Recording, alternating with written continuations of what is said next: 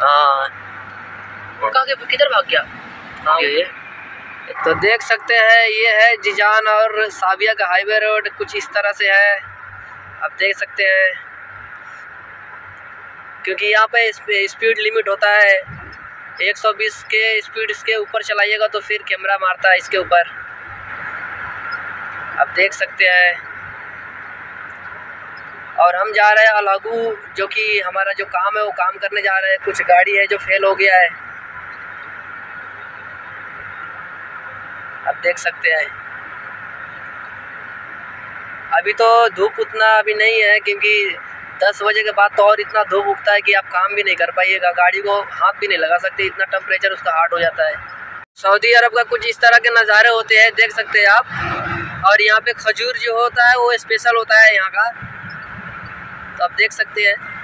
Saudi Arab घुम्नु मन छ हेर्नुहोस् यी साउदी अरब भने यस्तो हुन्छ यहाँको स्पेसल भनेको खजुरको बोट यो रोडको बिचमा लगाएको छ यतापट्टि वान वे साइड उतापट्टि वान वे बिचमा खजुरे खजुरको बोटहरू देख सकते हैं। हेर्नुहोस् देख सकते हैं यहाँ पे रोड के बीच में हर रोड के तरफ़ आपको खजूरी खजूरी मिलेगा आप देख सकते हैं।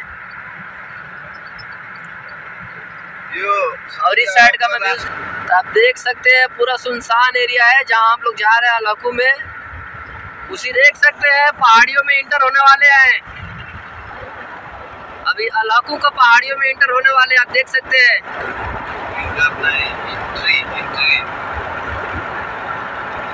और ज़्यादा दूर हमारा लोकेशन नहीं है। ये देख सकते हैं जो पत्थर दिख रहा है आपको ये सारे पत्थर जो दिख रहा है ये ये पानी का रास्ता है। यहाँ से पानी भी नीचे भर के भर जाता है चारों तरफ़ तो यहाँ से पानी का एक धार होता है एक नदी टाइप का बन जाता है ये। पहाड़ी का रास्ता ऐसा है। हाँ ये पहाड़ी का रास्ता है पूरा। आप देख सकते हैं किस तरह से पहाड़ काटा हुआ है। आप देख रहे हैं ना कैसा डिज़ाइन बना के रखा है वो। आ, थोड़ा सा मैं काश डाउन करता हूँ।